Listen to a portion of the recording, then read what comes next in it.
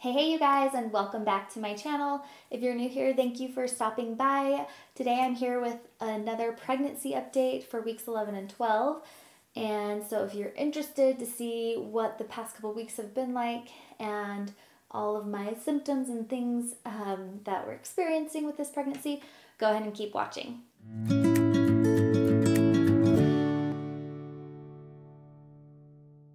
For those of you who are new to our channel, my husband and I conceived this baby. This is our first baby, and we conceived this baby through IVF. So we've been on a lot of medications, and I totally spaced letting you guys know in my last update that at week 10, so my last pregnancy update was in weeks 9 and 10, and at week 10, we got to get off progesterone injections as well as I was doing estrogen injections and progesterone suppositories. So that was huge news, and I totally spaced telling you guys that. Um, but it was super exciting, and I, I was just so mostly thrilled to be done with those, especially the progesterone in oil, because that stuff is not fun.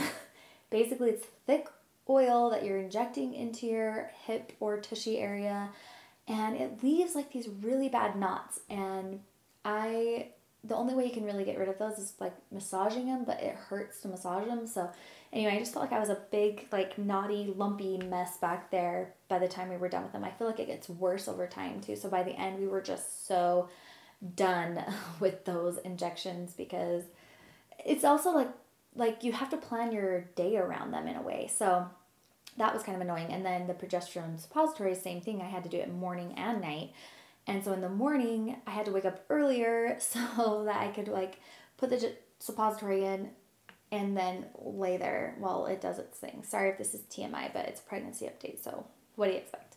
Um, so anyway, we were very thrilled to be done with those injections at week 10 with all the medications. I was a little bit wary of it because I was like, gosh, am I really ready to stop being like to stop these medications, but both my fertility doctor and my OB were totally confident with me going off them, so I just had to trust that we were good. So, yeah, we are done with injections. We are done with medications. The only thing I'm on right now is a baby aspirin.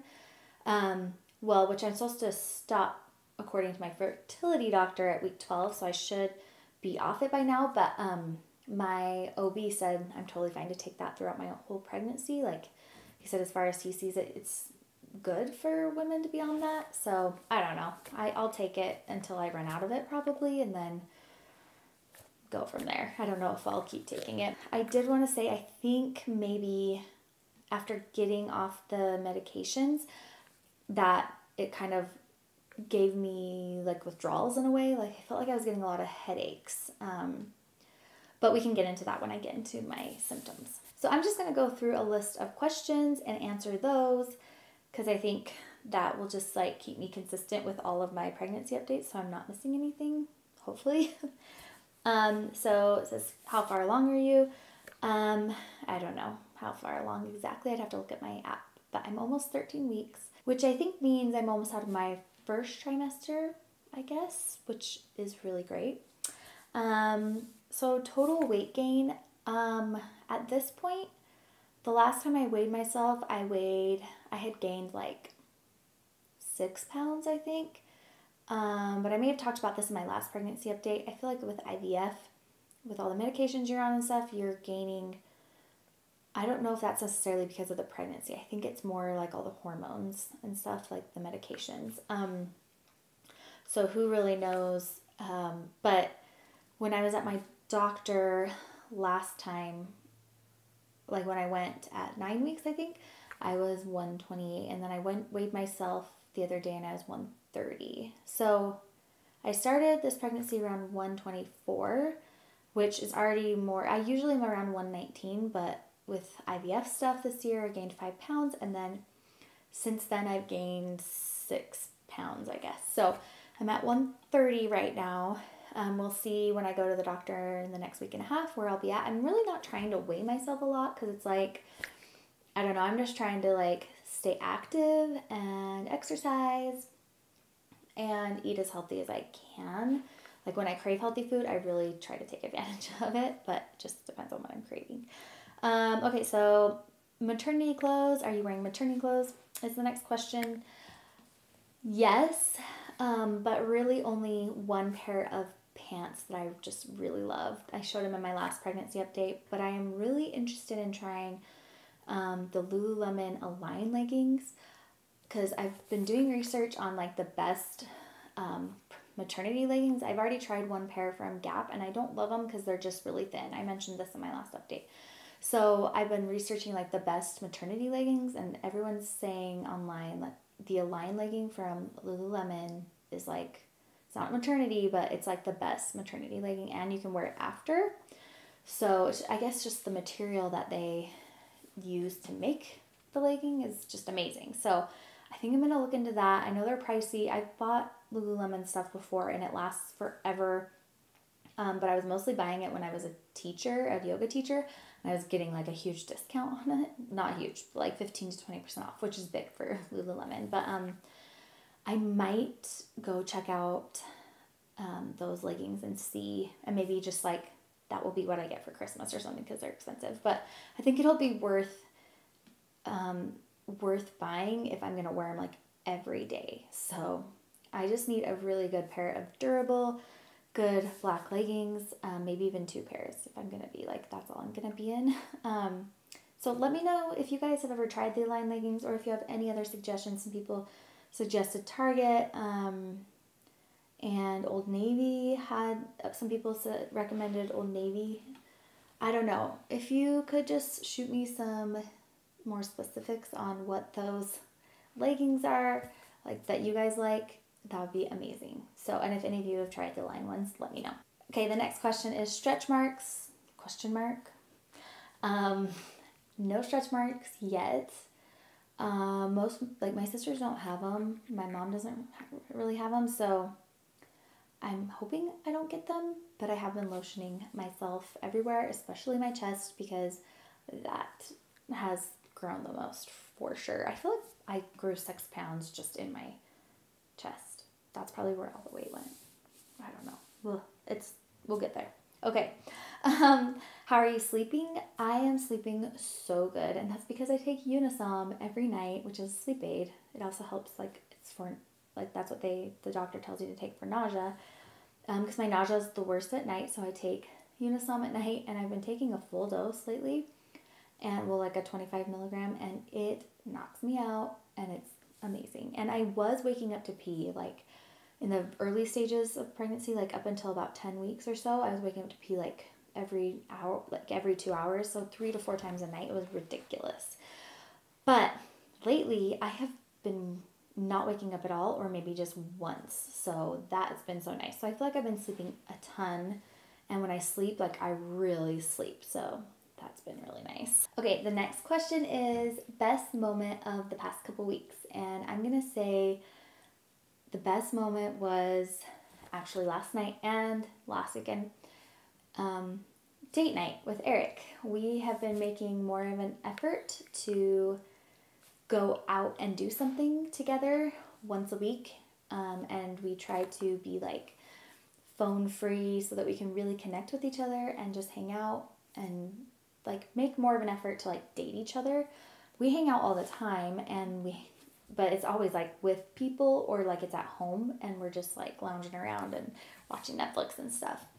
So, um, to get in the habit of doing this before kids come, I wanted to start doing it once a week and really just make that effort to go out of the house for at least a couple hours, whether it's to dinner or whatever. It doesn't have to be anything big. Last night we just went and um, tried this new restaurant and then after that we just went and got a little ice cream and walked around and it's just nice to reconnect and hang out with each other and date each other like we did before we got married so that's probably my best moment. Okay this next one is this next question is missing anything. And not really other than like I guess I would say when I go to my workout classes, I just don't feel the same. Um, and I feel like I can't, like, I miss being able to just like go full out and do like burpees and like just really push myself.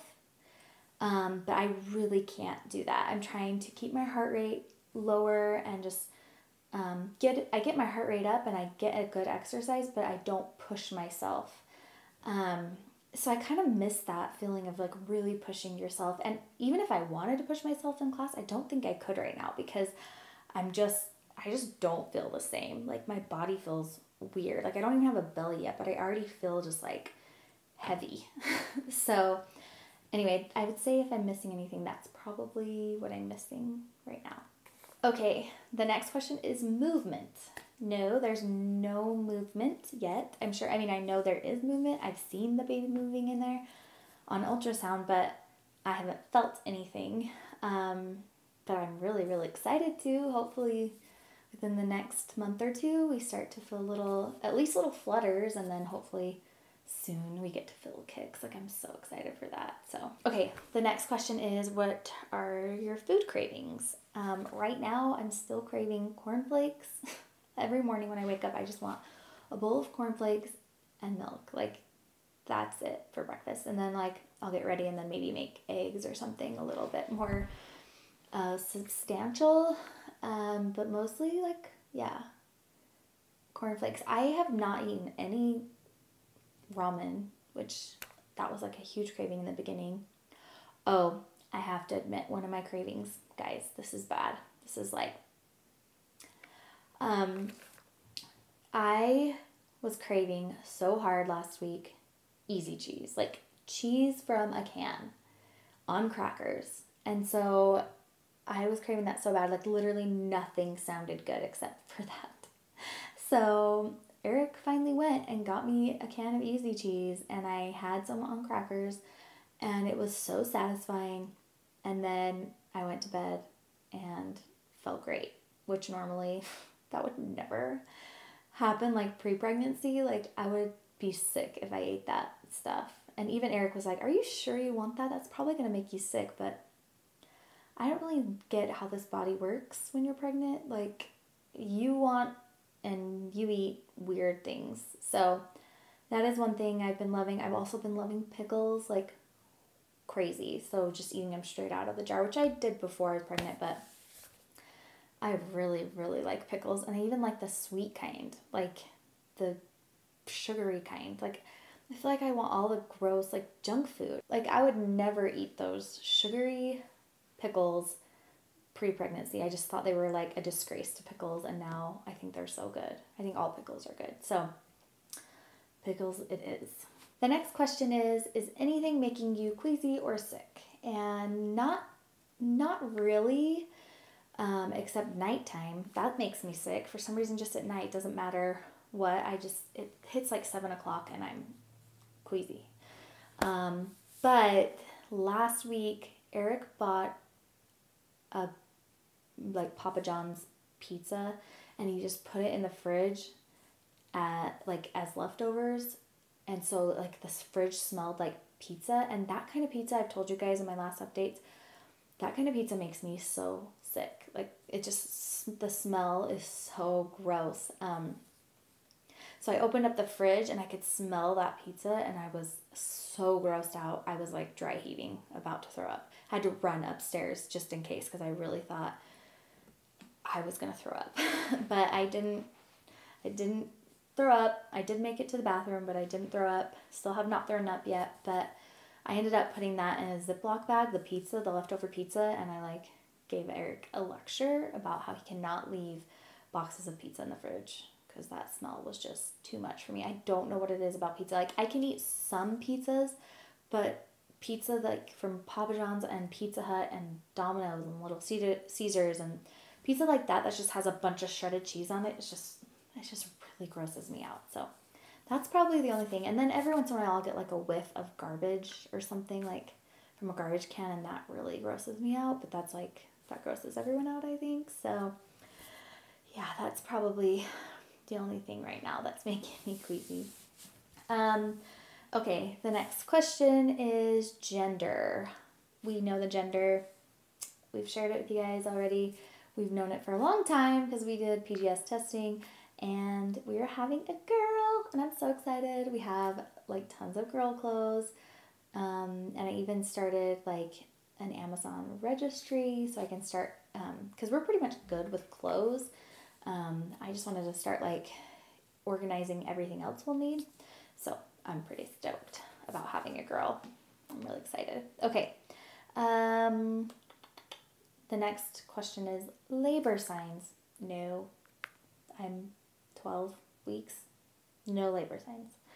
Thank goodness. um, the next question is what are your symptoms? So, the past couple weeks, I've had a lot more acne, like on my chin, jaw, like area, which I usually don't break out there. I usually break out like in my T zone, but um, I've had a lot of like breakouts here. I don't know if you guys you guys can probably see them, but anyway, um, yeah. So that's no fun. Um, but luckily, they're just like they're a little smaller. They're not like cystic or anything, which those kind hurt. But anyway, so acne has been prevalent the past couple weeks. Sorry about the lighting, you guys. I'm using the window to do my lighting, and like the sun is going behind clouds, and yeah. So if you guys are noticing the lighting change, sorry.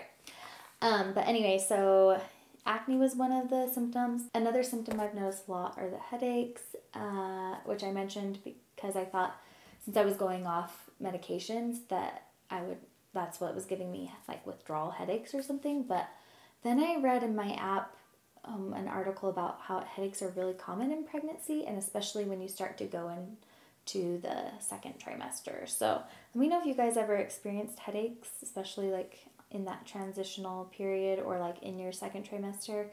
Um, I like I kind of have one right now. I just I feel like I have a headache during the day and then I get queasy and the headache gets worse around seven o'clock at night. So that's what I'm dealing with right now. Another symptom I've been having is really dry eyes. My mouth has also been dry, but that's been since the beginning, and that's why I drink a ton of water. But um, my eyes have been so dry, and a couple times in the past couple weeks, I have had such dry eyes that I couldn't even put my contacts in, so I've had to wear glasses, which I don't love wearing my glasses. So um, that's been kind of weird. Like it literally, like when I would put my contacts in, it would burn so bad. Um, and I looked up to see if that was a normal pregnancy symptom, and I guess it's. I found some things that said people had had really dry eyes. So if you've been pregnant and that's also been a symptom, I want to know because that's something I just like did not expect. So I hope it doesn't get too bad because I really, like I said, I really just don't like wearing my glasses. Um, so yeah, um, okay, the next question is belly button in or out? It's in still. And the next one is wedding rings on or off. And my wedding ring is still on. I actually just wear like the band. I have my engagement ring. I just don't wear it a ton, but yeah, still on. Uh, next question is happy or moody most of the time? I would say I'm definitely happy most of the time. Um, I feel like in the earlier stages, I was moody, especially when I was like kind of getting used to being sick. I was moody about it. Um, and I definitely still have my moody moments, but for the most part, I'm really happy. Like, I feel like something will go wrong in my life, and then I'll just think, it's okay, at least I'm pregnant. And I just feel so happy about that. Like, I can't believe I'm pregnant. It's just taken so long. So I think that's why I'm just like, I just am so happy about it. So, mostly happy. Um, the next question is What are you looking forward to? Um, I'm looking forward to my next OB appointment. Um, it's been two, three weeks since we've heard the baby's heartbeat. Um, I'm still thinking about getting an at home Doppler. We'll see. Uh, but yeah, our next um, OB appointment is in a week, and I'm just yeah, I'm just excited to hear the baby's heartbeat. I don't think we're doing an ultrasound. Um, and it's actually on ha- Halloween. So I'm excited about Halloween. So that's probably what I'm looking forward to right now. Okay, so I'm going to insert a belly shot here.